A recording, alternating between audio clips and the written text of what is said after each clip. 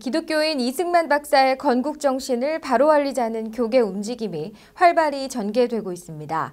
이승만 박사 기념 사업회 뉴욕 지회는 지난 11일 프라미스 교회에서 현판식을 갖는 한편 이승만 박사 포럼을 열었습니다.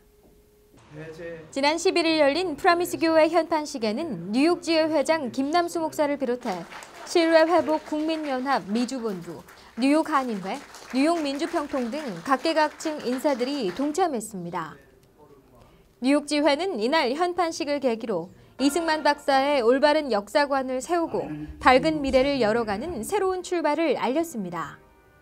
뉴욕 지회는 현판식에 이어 신뢰 회복 국민연합과 공동으로 건국이념과 이승만 대통령이라는 주제로 미주 신뢰 포럼을 진행했습니다.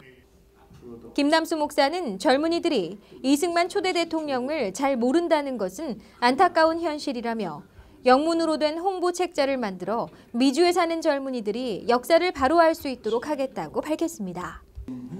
신뢰회복 국민연합 미주본부 김영길 회장은 나라의 역사를 바로 세우지 못하면 미래가 없다며 대한민국의 건국 이념을 바로 알고 올바른 정체성을 찾아야 한다며 포럼 개최 배경을 설명했습니다. 이날 포럼에는 백악관 국가안보회의에서 동북아와 북한 전문가로 활동했던 한인 1.5세 수미테리 컬럼비아대 교수가 한미동맹 61년이라는 주제로 강연을 했습니다. 또 건국이념 보급회 인복일 대표는 건국이념과 대통령 이승만이라는 주제로 강연을 했습니다.